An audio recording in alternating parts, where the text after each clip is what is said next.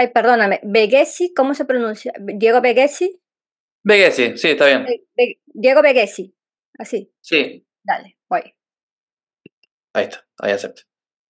Muy buenas a todos y todas. Eh, hoy tengo la gran, de verdad, eh, oportunidad de hablar con Diego Begesi. ¿Cómo estás, Diego? Eh, actor de La Sociedad de la Nieve, que ya sabéis que estamos haciendo un especial súper guay que lo tenéis en nuestro canal de YouTube. Así que damos la bienvenida a Diego. ¿Qué tal? Muy bien, muy bien. ¿Y vos? Muy bien, encantada de hablar con la gran mayoría, ya no sé cuánto llevo, pero muchos actores y, y actrices también, porque hemos tenido a Sina también hablando con nosotros un poquito. Y hoy te toca a ti, Diego, gracias por aceptar nuestra invitación. Sé que es muy difícil a veces con tantos mensajes que os llegarán, que ya hablaremos de ellos, que nos leáis un poquito y que, y que podáis hablar con nosotros un ratico. Así que enhorabuena, primero, enhorabuena por la película y por ese papelazo del Capi, ¿no? Sí, gracias, gracias, un placer. No, Diego interpreta a Marcelo Pérez del Castillo, conocido como el Capi, que todos le llaman capitán. Pero ahora nos adentraremos más en la sociedad. Primero, queremos conocer un poco más el trabajo de Diego y tu faceta como actor. Es decir, primero, ¿qué te hizo que, que tú quisieras dedicarte a, a, ser actor y cómo lo, también tomó esta noticia? ¿no? ¿Es parte de tu entorno familiar o tus amigos, tu familia? Cuéntame. Y bueno, yo arranqué con actuación desde muy chico. Mi primer recuerdo en relación al teatro tiene que ver con la escuela primaria, con los primeros años de, la escuela, donde teníamos teatro. Y a partir de ahí eh, fui haciendo algunos talleres por el barrio y un poco me fue llevando, creo yo, más bien la, profesión. Es decir, eh, después entré a una escuela de teatro eh, muy muy copada, que para mí fue como importante, que se llama Nini Marshall, es una escuela de teatro para adolescentes, em, en la cual cursé varios años y, recuerdo como esos años encontrándome con el teatro, sobre todo en principio, y con la actuación desde un nivel de disfrute y, de algo que, me abrió un mundo a mí. Em, así que hace bastante ya que, estoy vinculado al teatro y a la actuación. Y, después, eh, afortunadamente, pude eh, empezar a trabajar en obras de teatro, en proyectos, en películas. Y yo creo que sobre todo esas experiencias em, de, creación de teatro, de, formar parte de un proyecto, de una película, creo que, las, que fueron las que me terminaron de afianzar eh, en, este camino. Mm. Para mí actuar es de un disfrute absoluto y, y, bueno, eso es lo que más me vincula. claro, tú, has hecho teatro, como comentas, eh, películas, miniseries para televisión también, si mal no recuerdo, ¿no? Silencios de familia. Eh, pero cuéntame, obviamente sin quitar mérito a la, al cine y a las series, porque yo creo, y lo he hablado con varios de tus compañeros, porque la gran mayoría ha hecho mucho teatro y, y me parece como para, sabes, eh, ¿cómo te digo? Para obtener más experiencia o más práctica, me parece súper relevante hacer teatro, porque estás en contacto con el público, estás en contacto con las emociones que te generan. Es decir, ya sea para bien y para mal, porque en algún momento, en alguna obra, puede haber alguien con el móvil que suena o alguien que está hablando y te puedes concentrar, tienes que saberte muy bien el guion. Para ti ha sido algo, sinceramente, mm, imprescindible el teatro dentro de tu carrera. Sí, sí, ni hablar. Eh, acá en Buenos Aires, además, hay mm, está lleno de teatros por todas partes, hay muchas oh, salas, hay muchos profesores, que mucha, mucha investigación en relación a la actuación, eh, muchos lenguajes eh, diversos, distintos. realmente el teatro en, Buenos Aires y también en, en el país es es muy importante, mucha movida, muchísima movida. Entonces, eh, y es muy, es espectacular, digo, para mí es, eh, es como un orgullo, digo, que, en esta ciudad tengamos mm, tanto teatro por todos lados. Eh, y, realmente, sí, y hay muchos espacios para ir a aprender, muy diversos. entonces uno, uno puede enriquecerse desde diferentes lugares, Em, es muy difícil eh, quedarse con una sola faceta de lo que es el, teatro aquí por, por, la diversidad que hay. Entonces, creo que uno no termina de encontrar novedades en, el teatro de acá y eso es lo que lo hace también para uno muy, eh, muy, muy maravilloso, con, a uno le dan ganas de hacer teatro también por la movida que se arma. Claro. Eh, y, y, bueno, ni hablar que, que uno también creo que ingresa la actuación a través del, teatro en general, digo, no son, no son todas las experiencias iguales, obvio, pero en mi caso y en varios de los chicos eh, hemos ingresado a la actuación a través del teatro. Eh, y, creo que, que, que realmente es un aprendizaje eh, imprescindible, eh, poder pasar por el escenario, digamos, poder estar en contacto en vivo con el público, em, poder percibir esa, esa, adrenalina que genera estar ahí. Eh, se genera una comunicación con el público y con tus compañeros en mm. escena que es muy, muy único. Y, y en el teatro también los actores y actrices son como muy arranca la obra y los dueños y son, son ellos, digo, como claro. Eh, eh, hay algo muy artesanal del mm. teatro que, que, también es muy lindo. Eh, yo creo que algo de esto, de, de un sentido grupal que tiene el teatro, los elencos, algo de todo ese sentido mm. grupal, fuerte, colectivo, yo creo que ha sido trasladado también a, la película, que también es un grupo muy grande de, actores y actrices y, y, yo encuentro como unos, eh, reconozco como algunas facetas de, lo que es un grupo de teatro en, la, en, el, en lo coral de la película también. Claro, porque aparte también como tú dices, tienes que resolver también la capacidad de resolver cosas rápidas, que pueda pasar algo cualquier momento en la hora de teatro y tienes que resolverlo. Sí, no, sí, si uno está muy, si está presente ahí, que es lo que más es la, característica más propia del teatro, que es como habitar un presente pleno. Si uno está ahí presente, eh, no digo que nada malo puede pasar, pero, pero sí que, que, no, la obra no deja de existir o no deja de, estar eh, por, por, más accidentes o cosas que haya que resolver en el, en el momento. Y, bueno, sí, obvio, también te da como una... Se trabaja mucho la improvisación también en Buenos Aires. hay un campo de, de, investigación sobre la improvisación muy, muy fuerte y, creo que eso también se, percibe en, la actuación de acá, de, Argentina, de Buenos Aires también. Sin duda, aparte también es que no es que sean estos últimos años, creo que desde hace muchísimos años el cine argentino es un referente dentro de la industria cinematográfica, es decir, tantas películas buenas que han llegado eh, independientes y mm. blockbuster, y estamos hablando de grandes producciones que han llegado a Hollywood, que se han hecho hasta, ¿sabes?, un remake o cosas así, ha sido increíble realmente, pero para ti, es decir, como, eres joven, has empezado, llevas ya unos años empezando en esto, pero ¿cómo ves la evolución también un poco dentro del trabajo como actor? Porque yo sé que puede ser muy difícil, que a veces hay muchos no antes de, de, que te digan, sí, estás dentro, ¿no? Eh, y la evolución también a raíz de la de que han sacado o de que ya hay muchas plataformas, que a veces no damos abasto en verlas todas, pero que hay muchas plataformas que se ocupan también de producir grandes películas, series, miniseries. Sí, sí, fue cambiando desde, que arranqué hasta hoy, fue cambiando bastante un poco la industria, por decirlo así, digamos. Eh, eh, y yo tuve la fortuna de poder de, poderla trabajar bastante de actor. Eh, también hay mucha intermitencia, también tuve momentos donde no, pasaba nada, digamos, es difícil sostenerlo a lo largo del tiempo, eh, la, profesión de, la actuación. Eh, es, realmente como, es difícil.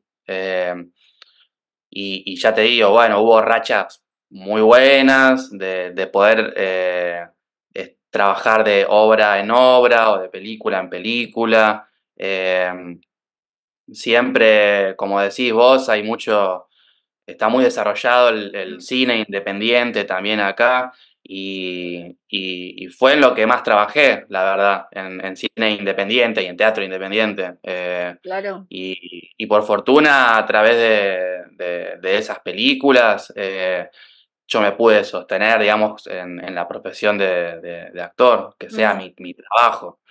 Em, y, bueno, pero bueno, ya te digo, también después hay, hay rachas que malas, digamos, em, con mucha intermitencia, de pronto aparece la serie esta que mencionaba, Silencio de Familia, fue en la tele, em, y, así, hay como un sub y baja en la, en la carrera de, la actuación o, en, mi experiencia particular. Em, de hecho, antes de, de, poder eh, estar en este proyecto, en la Sociedad de la Nieve, eh, venía de un momento donde no, no, pasaba nada, estaba como en una incertidumbre eh, fuerte. También coincidió con, con, la pandemia, entonces todo estaba muy, muy en suspenso. mi actividad también estaba como ahí. nada, es como tuve como una carrera medio vertiginosa en ese sentido, de, poder hacer pie y por momentos eh, estar ahí como perdido mm. en, sostenerme. Pero, pero afortunadamente eh, siempre hay proyectos y siempre hay ahí como eh, algo, algo en lo que me, me requieren y, nada, está buenísimo. Y, pasó ahora con la Sociedad de la Nieve también, como, como anclar de pronto en un proyecto de este tamaño fue como fascinante. Em. Y, antes de entrar a hablar de la sociedad de, este, de, este, de esta actuación que realizas, impresionante, también preguntarte cuál fue esa película que quizás te hizo amar el cine o esa película que recuerdas que más te haya conmovido, ya sea de pequeño, adolescente. No sé, me pasan muchas por la cabeza. Eh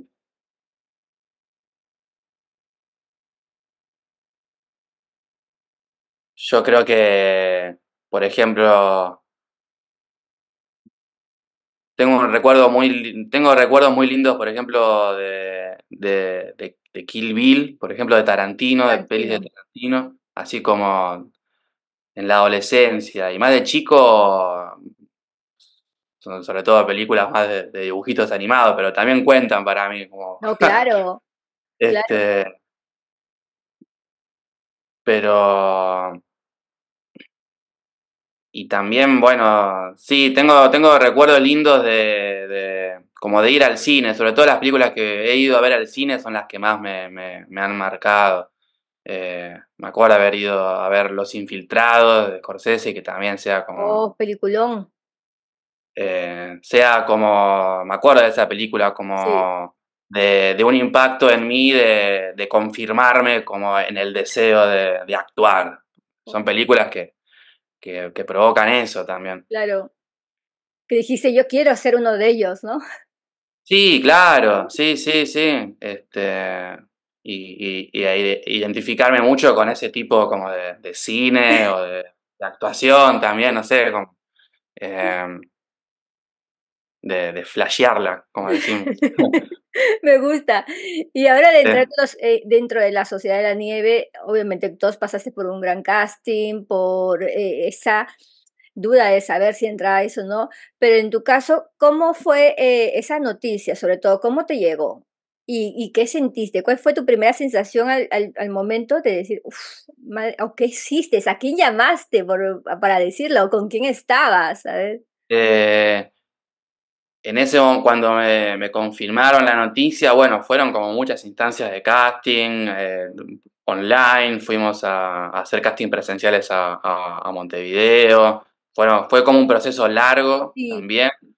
Eh, y cuando me confirmaron, yo estaba acá en mi casa también, estaba solo en ese momento y, y, la directora de casting, que es María Laura Berch, eh, nos hizo como una especie de, bromita en relación a que lo que aparentemente era una entrevista más y una reunión más de Zoom, mm. eh, con preguntas, porque también hubo mucho de eh, mucho eh, chequeo de cosas, de fechas, de, cosas de salud, como todo el tiempo había preguntas, preguntas, y uno ya estaba medio como podrido de, eso.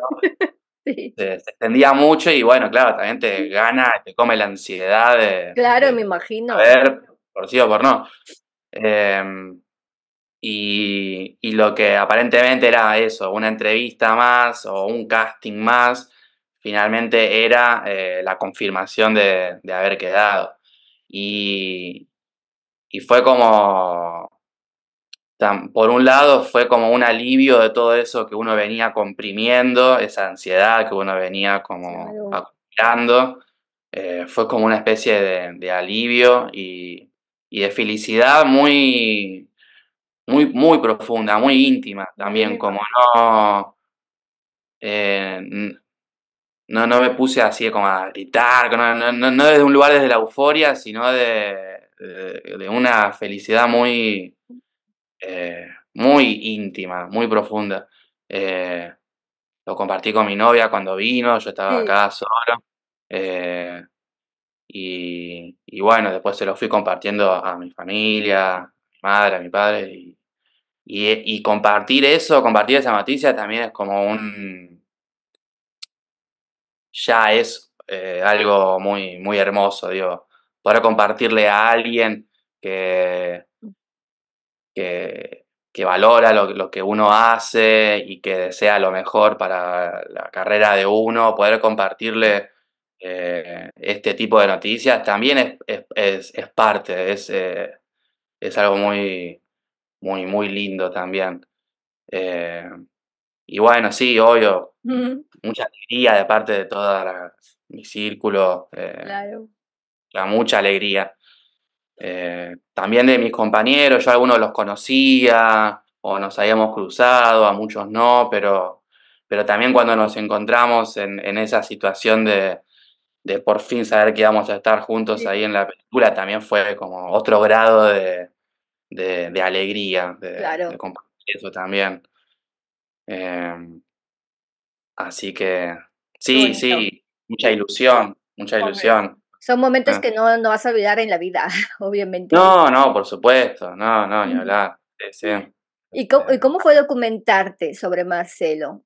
Es decir, que, ¿cómo fue para ti un poco todo este proceso, no? Porque tenías que convertirte en alguien que, obviamente, en una persona real, en una persona que haya mm. pasado por este momento trágico con su familia, eh, que podría ver o no la, película después, un poco cuéntame todo esto. Sí, bueno, yo eh, a la historia, digamos, la conocía desde ya, pero no, no, no, no estaba muy interiorizado eh, en, en, en, quiénes eran, en, en, qué fue pasando, qué, qué relación había entre, entre ellos. No, no, tenía mucha información. Y y lo primero, el documento base o fundamental es, bueno, justamente el libro La Sociedad de la Nieve, que escribió Pablo Bierzi, eh, que es un libro que, me gustó mucho, como, también como, como lector, más allá de, que uno lo leía también para, entender y para documentarse y eso, eh, me, atrapó como, como lector, está, está bárbaro el libro. Y me parece que, que, cuenta, cuenta mucho de, Marcelo y del vínculo con, el resto y quién era él. Y, y ese fue como la, base. Después también hay, hay, otro libro que se llama Del otro lado de la montaña, que, fue escrito por, em, con testimonios de de familiares de aquellos que no, volvieron de la montaña.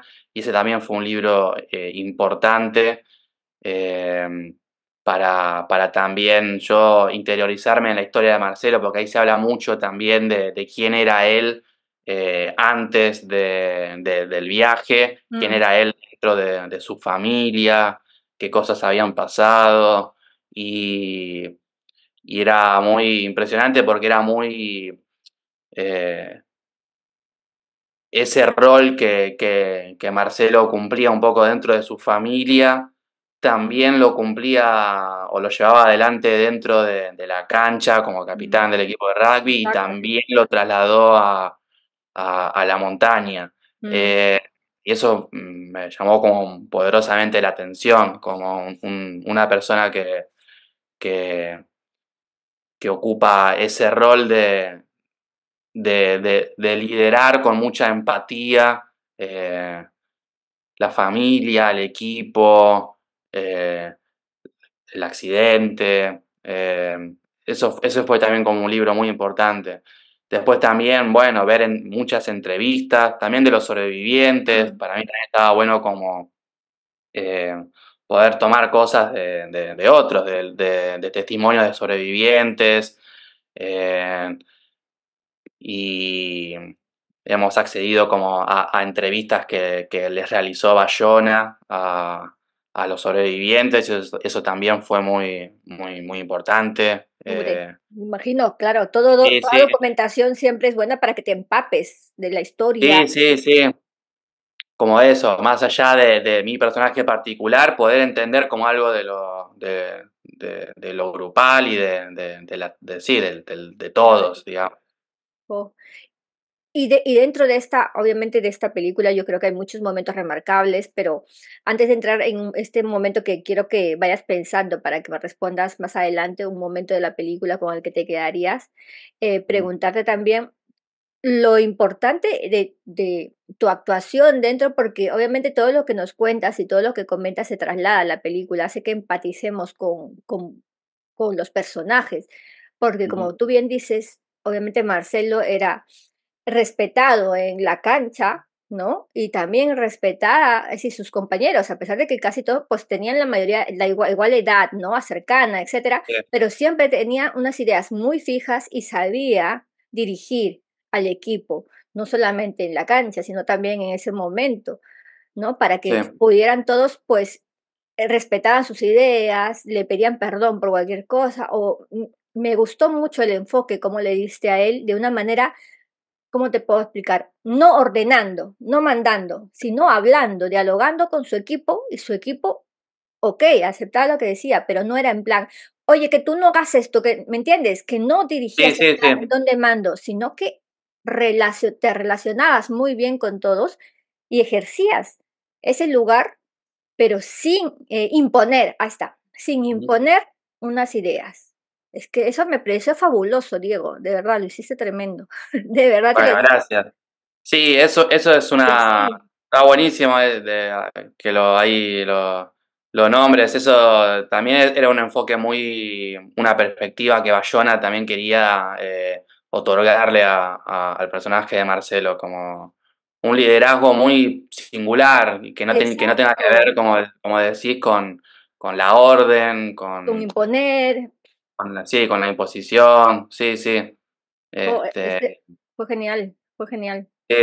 Sí, sí, fue, es, un laburo muy difícil porque es como difícil, como esa zona... El tono también, ¿no? el eh, tono de voz. Sí, sí, también, claro, como un, un, líder que no grita, digamos, que no, no, no se impone por, por, el grito. Eh, que,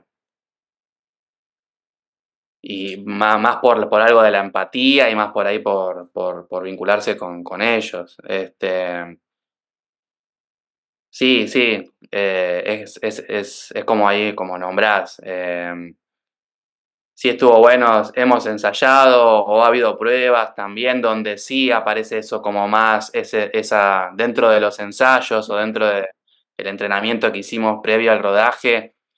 sí hubo momentos donde... Eh, un poco eh, poníamos en foco, tal vez sí, como un lugar más, eh, eh, más, de, más de ordenar, pero dentro de unas circunstancias muy...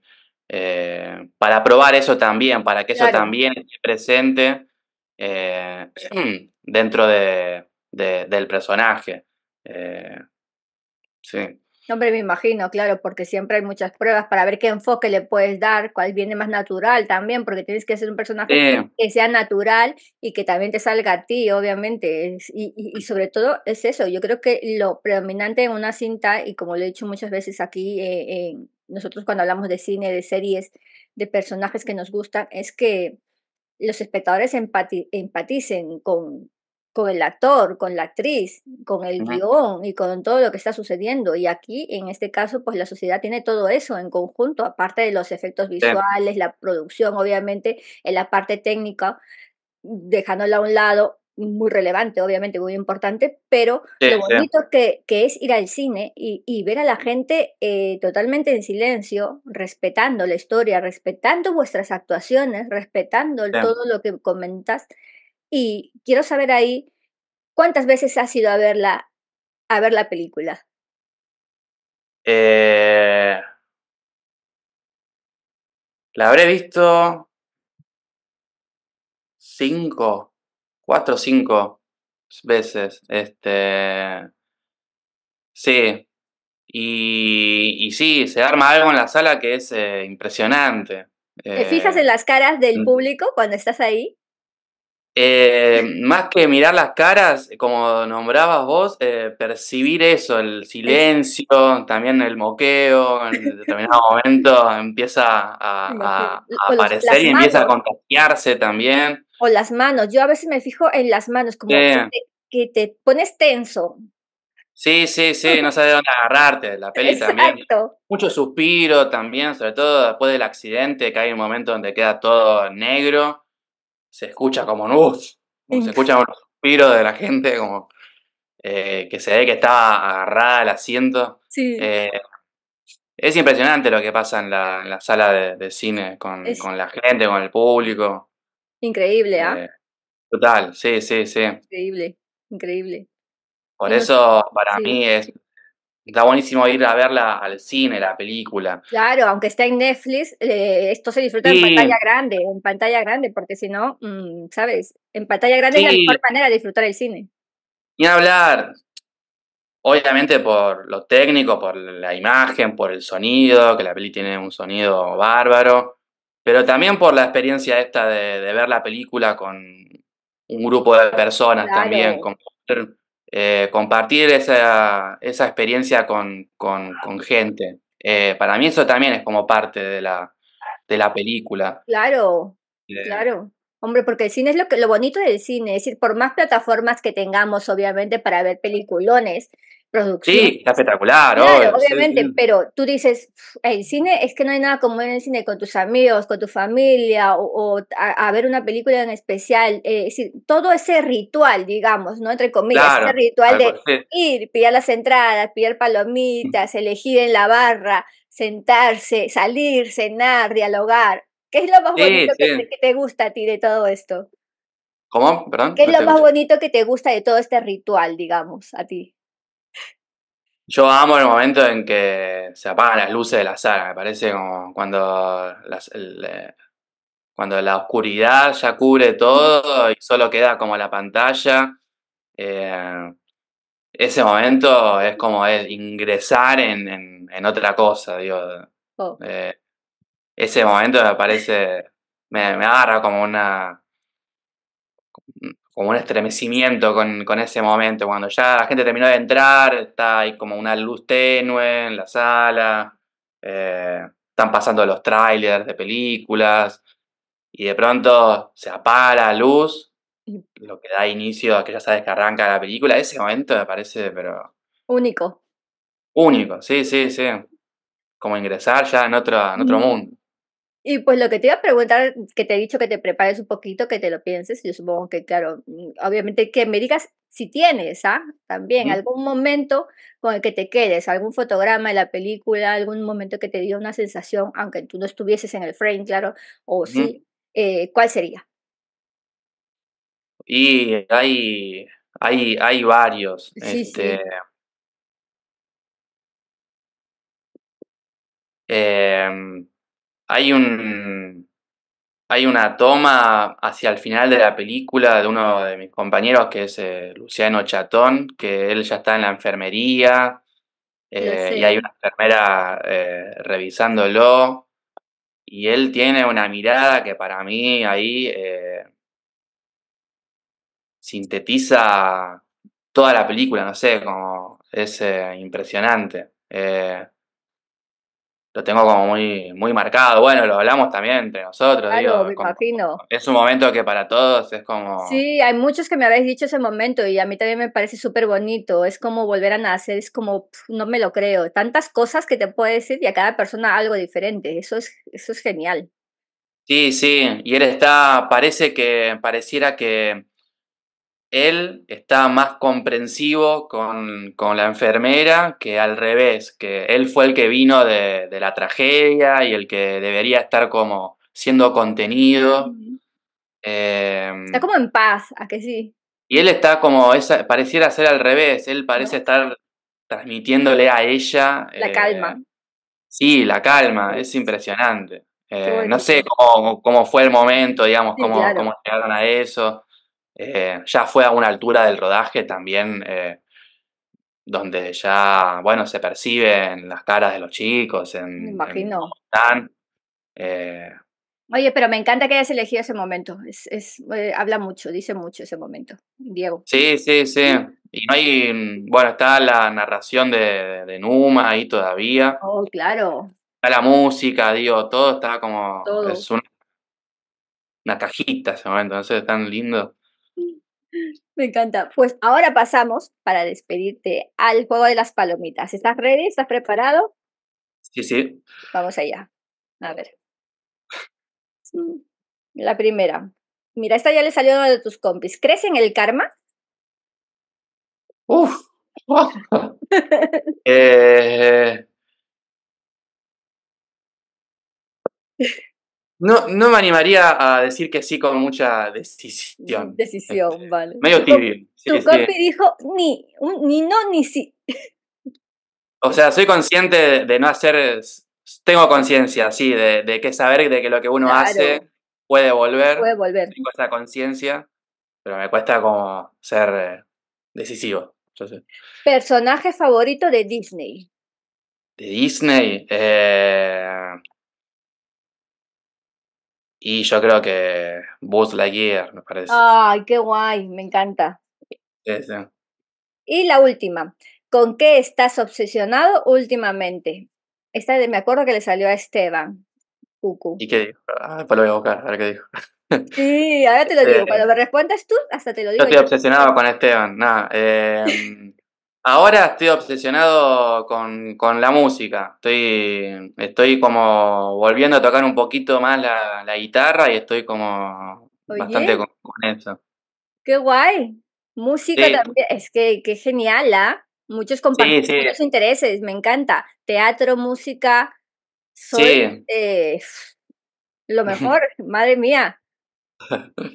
Qué este, guay. Sí, sí, bueno, desde siempre me gustó mucho la música y, y, bueno, todo toco así, digamos, más por mi cuenta, pero, pero, sí, me encanta.